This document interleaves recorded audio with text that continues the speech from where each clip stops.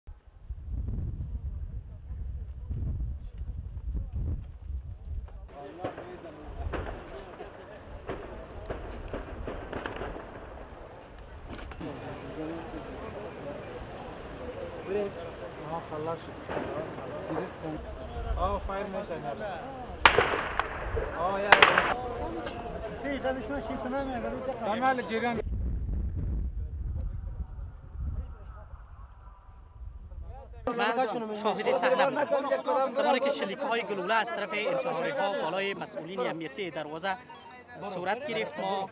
دورنگ از ساحه فرار کردیم و از طرفات برای شما چیزی گفته نمیتونم احتمال داره که این مسئولیتی بیشتر کشیده شده Yeah.